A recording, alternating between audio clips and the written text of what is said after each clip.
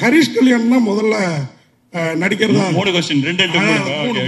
ஏன்னா அடுத்து வாய்ப்பு கிடைக்காது. அடுத்து உங்களுக்கு என்ன காரணம்? கவினை அதையும் சொல்லுங்க. ரைட் சார் இது ஆடியோ லான்ச் பிளான்ல இருக்கு சார் இப்பவுமே யுவன் சாரோட டேட்ஸ் தெரியல.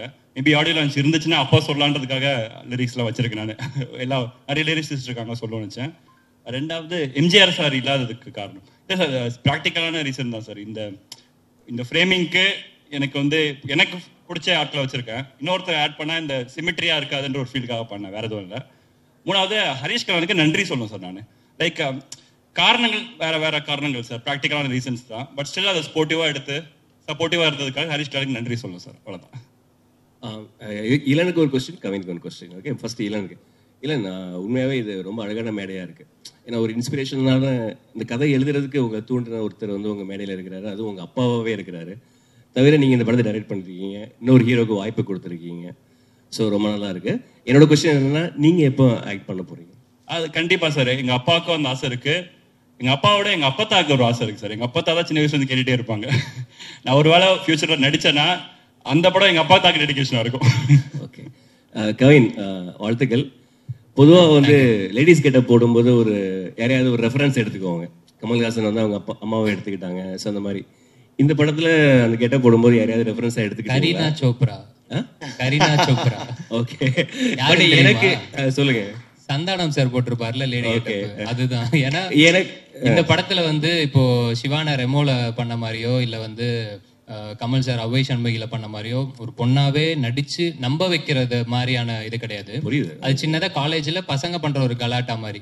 சோ எனக்கு என்னன்னா அந்த கலாட்டால பார்க்கும்போது சந்தானம் சார் எக்ஸ்ட்ரானரியா அதுல ஒண்ணு பண்ணியிருப்பாரு நிச்சயமா அதை வந்து இப்போ இதுக்கப்புறம் யாராலுமே பீட் பண்ண முடியுமான்றது தெரியல.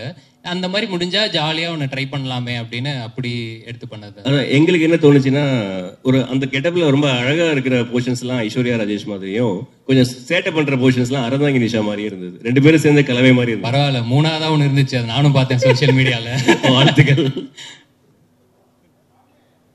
Santhanam reference super.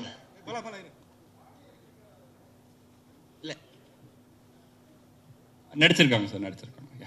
Direct sir ஆக்சுவலாக பேர் வந்து ஸ்டார்னு வச்சிருக்கீங்க. பின்னாடி இருக்கவங்களும் பெரிய ஸ்டார்ஸ் தான்.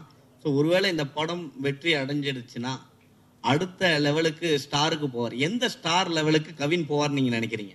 சார் நான் ஆல்ரெடி இன்டர்வியூஸை சொல்லியிருக்கேன் சார் ஆ சார் கேட்குறீங்க சொல்லவா? So as an as an ஆக்டரா sir நான் ஆஸ் அன் ஆக்டரா ஒரு ஒரு டாப் ஃபைவ்ல இருப்பாருன்னு நான் பிலீவ் பண்ணுறேன் ஆக்சுவலாக ஒரு ஒரு ஆஸ் அன் ஆக்டரா பெர்ஃபார்மராக ஒரு டாப் ஃபைவ்ல இருப்பாருன்னு பிலீவ் பண்ணுறேன் சார் கவின் சார் ஒரு ரெண்டு மூணு நாளா அந்த லேடிஸ் கெட்டப்ல இருந்திருப்பீங்க. உங்களுக்கு எப்படி ஃபீலா இருந்தது? பெண்களுக்கு வந்து என்னென்ன கஷ்டம் இருக்கு? பயங்கர கஷ்டம்ண்ணே நான் அன்னைக்கு ஸ்டேஜுக்கு வந்ததுமே ஏதோ இவங்க இவங்களோட கொஞ்சம் விரிவா சொல்லுங்க. அசிஸ்டன்ட் ஒரு அக்கா வருவாங்க. அவங்க எல்லார்ட்டையுமே வந்து நீங்க எல்லாம் தெய்வம் அப்படின்ற அளவுக்கு நான் சொல்லிட்டேன். ஏன்னா நிஜமாவே ரொம்ப சங்கடமா இருந்துச்சு. இப்போ இதுவே எனக்கு தெரிஞ்சு இந்த டிசைன்லாம் இவங்களுக்கு உள்ள குத்தும்னு நினைக்கிறேன்.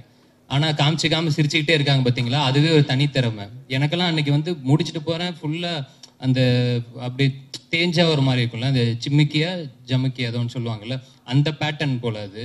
அது அப்படி கொடுத்துருந்தாங்க பயங்கரமா நம்ம காஸ்டியூம் டிசைனர் சரி அதெல்லாம் ரொம்ப ரொம்ப கஷ்டம்னு ஏன்னா இப்ப நம்ம இப்போ இப்போ ஒரு ஈவெண்ட் அப்படின்னா நம்ம சும்மா ஏதோ ஓகே கிடைக்கிறத போட்டு டக்குன்னு வந்துடுறோம்ல அவங்களுக்கு அந்த மாதிரிலாம் இல்லை. அது மெடக்கெடுதல்லே பயங்கரமா இருக்கு.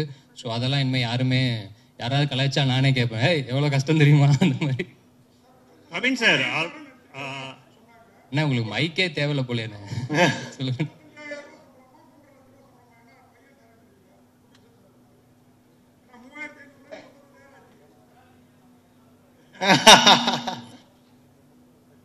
சார் நான் வந்து ஒரு ஓவரால் பட்ஜெட் கொடுத்துட்டு போயிருக்கேன். அதுக்கப்புறம் அந்த பட்ஜெட்டுக்குள்ளேயே எலன் முடிச்சு கொடுத்துருக்காரு படத்தை. சார் நீங்க கவின் சார். இங்க இங்க.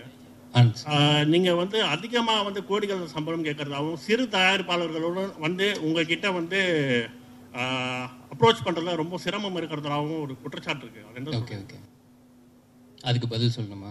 அதுவும் நான் அந்த ரூம்லேயே சொல்லியிருந்தேன். திரும்பவும் நீங்கள் கேட்குறீங்க இப்போ வந்து நம்ம நடிச்சிருக்கோம் ஒரு படம். இந்த படம் டெஃபினட்டாக டிபேட்டபிள் அப்படின்னு நான் நினைக்கிறேன். அது சேம் டைம் இங்கே சம்பளம் டிபேட்டபிளா அப்படிங்கிறது எனக்கு தெரியல. டிபேட்டபிள் யாருக்கு அப்படின்னா எனக்கும் ப்ரொடியூசருக்கும் அட் த சேம் டைம் நம்ம ஏதோ கேட்குறோம் அப்படின்றதுக்கானலாம் இங்கே யாரும் கொடுத்துடவும் மாட்டாங்க. அப்படி ஒரு விஷயம் கிடையவும் கிடையாது.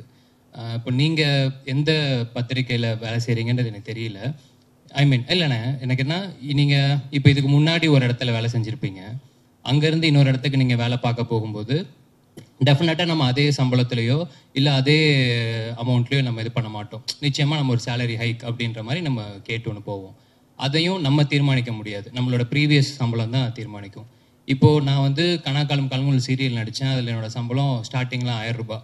சீரியல் முடித்து நான் ஒரு அஞ்சு ஆறு வருஷம் எக்ஸ்பீரியன்ஸ்க்கு அப்புறம் எனக்கு அதோட சம்பளம் ஆறாயிரம் ரூபாய். ஸோ அந்த ஆறாயிரம் ரூபாவை தீர்மானிக்கிறது மூவாயிரம். மூவாயிரத்தை தீர்மானிக்கிறது ஆயிரம். இப்படி தான் இருக்குது ஸோ சம்பளம் அப்படிங்கிறது இன்றைக்கி வந்து நம்மளோட படம் எந்த அளவுக்கு பண்ணுதோ அந்த மார்க்கெட்டில் எப்படி நடக்குதோ அதுதான் தீர்மானிக்கிறதே தவிர இங்கே தனிப்பட்ட இதில் யாருமே தீர்மானிக்கிறது கிடையாது. ப்ளஸ் என்னால் படம் வந்து நான் இதுதான் எனக்கு நாலாவது படம். இந்த நாலாவது படமே வந்து பார்த்தீங்கன்னா இது எனக்கு முடிக்கிறதுக்கு வந்து இப்போ லிட்டரலாக ஒரு வருஷம் அப்படிங்கிற மாதிரி ஆகியிருக்கு. இந்த காரணங்களுக்காகவே நான் வந்து சில இடங்கள்ல நோ சொல்லியிருக்கேன். பட் ஆனால் அந்த நோ சொல்றதுக்கான முக்கியமான காரணம் என்னன்னா யாருமே வெயிட் பண்ண வைக்க வேண்டாம். அவங்க வெயிட் பண்ற நேரத்தில் நிச்சயமா எனக்கு எவ்வளவோ பேர் இருக்காங்க. அவங்கள வச்சு கூட பண்ணிட்டு வந்துடலாம் இதெல்லாம் தான் காரணங்கள். சுவாரஸ்யத்துக்காக இல்ல இன்ட்ரெஸ்டிங்கா இருக்கணுன்றதுக்காக அது பேசுறதுக்கு வேணா நல்லா இருக்கலாம். மற்றபடி ஃபேக்ட்ஸ் இதுதான். சார் இந்த ஒரு சார் சார் சார் அடுத்த ரெண்டு படத்துல ஹீரோயினே கிடையாதுண்ணே. நாளைக்கு ஒரு அனௌன்ஸ்மெண்ட் வரும். அந்த படத்துல ஹீரோயின் கிடையாது. அதுக்கடுத்து ஒரு படம் பண்றேன் அதுலயும் ஹீரோயின் கிடையாது. இந்த படத்துலயும் நான் கதை மட்டும் தான் கேட்டேன். ஹீரோயின் தான் இந்த இவர் தான் கூட்டு வந்தாரு. சார் கடைசி கொஸ்டின் இது. இது கடைசி கொஸ்டின் சார் கடைசி கொஸ்டின் இது. சார் ஹலோ சார் இந்த கொஸ்டின் வந்து இந்த கொஸ்டின் மைக் அங்க இருக்கு. மைக் அங்க இந்த கொஸ்டினுக்கு வந்து டேரக்டர் இருந்தாலும் சரி ஹீரோ இருந்தாலும் சரி யார் வேணா பதில் சொல்லலாம். சரிங்களா? கவின் ஸ்டார். ஏன்னா எப்பவுமே வந்து ஒரு ப- ஒரு- படத்தோட ஹீரோ வந்து ஒரு பேர் சொல்லி சொல்லி ஒரு ரஜினியின் ஜெயிலர் அப்படிதான் வரும். இது என்ன கவின் ஸ்டார்? யாருக்கு மென்ஷன் பண்றீங்க? யார் குறிப்பிட்டு சொல்ல வர்றீங்க? அதுக்கப்புறம் வந்து ரெண்டு ஹீரோயின் ஒரு ஹீரோயினை சமாளிக்கிறது பெரிய விஷயம். சரிங்களா? புது ஹீரோயின் ஒருத்தர் தமிழ் தெரியல. எப்படி சமாளிச்சீங்க? ரெண்டு பேர்ல யாருக்கு கூட சொல்லலாம். நேக்கா டேரக்டர் மைக் கொடுத்துட்டாரு எஸ் எஸ் ஃபர்ஸ்ட் எவ்வளவு நேக்கெல்லாம் பேசியிருக்கலாமே. அது கிடையாது. அவரோட கால் தானே? சோ அவர் தான் சொல்லணும். ஸ்டாரிங் கவின் போட்டிருப்போம். அப்படின்னா இதுல நடிக்கிறாரு தான் அர்த்தம்? இந்த படத்துக்கு அந்த வார்த்தை யூஸ் பண்ணா ஒரு மாதிரி வார்த்தை விளையாட்டு மாதிரி அழகா இருந்துச்சு. அந்த ரீசனுக்காக போட்டோம்.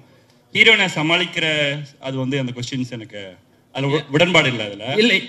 ஏ- ஏன்னா பாத்தீங்கன்னா அவங்களுமே அவங்களோட பெஸ்ட் கொடுக்கறதுக்கு அவ்வளவு ஹார்ட் ஒர்க் பண்ணி ப்ரொஃபஷனலா ரெண்டு பேரும் பண்ணி கொடுத்தாங்க. ஸோ சமாளிக்கிறதுக்கான வேலைகள் அங்க எதுவும் இல்லை. யா இல்ல சார் என்னன்னா ரெண்டு ஹீரோயினாவே ஆனா நீங்க கேட்டது இன்னொரு நான் ஆடடாவே நான் சொல்லிடுறேன். ஒண்ணும் இல்லை இப்போ இவங்களுக்கு டெஃபினட்டா தமிழ் தெரியாதுண்ணே பட் ஆனா அவங்களுக்கு தமிழ் தெரியல அப்படிங்கிறது வந்து ஸ்பாட்டில் நாங்கள் யாருமே ஃபீல் பண்ணல. உச்சரிப்பு அதெல்லாம் பிரச்சனை இருக்கும் இல்லாமல் கிடையாது. பட் ஆனால் அவங்க ஒரு ஒரு பெரிய ஃபார்ட்டி பேஜஸ் ரூல்டு நோட் ஒன்று வச்சுருக்காங்க. சீன் பேப்பரில் என்னெல்லாம் போகுதோ அதை வந்து அவங்களுக்கு டிரான்ஸ்லேட்டர் ஒருத்தருக்கு இருந்து அவங்க அதை தமிழில் இப்போ நம்ம தங்கிலீஷ்னு சொல்லுவோம் இல்லையா? அது அவங்களோட புரிதலுக்கு ஏற்ற மாதிரி அவங்க அதை மாற்றி இங்கிலீஷில் எழுதி அந்த தமிழுக்கு மாற்றி அதெல்லாம் பண்ணிட்டு தான் அவங்க வருவாங்களே செட்டுக்கு. ஸோ இந்த மாதிரி எல்லாருமே அவங்க அவங்களோட வேலை செய்கிற இடம் தானே இது. ஸோ அந்த டெடிக்கேஷனோட சின்சியராக தான் எல்லாருமே வேலை பார்த்துருக்காங்க. சூப்பர். ரொம்ப ரொம்ப நன்றி. தேங்க்யூ ஸோ மச் ஸோ இத்துடன் இந்த விழா இந்த சந்திப்பு இனிதே நிறைவடைகிறது.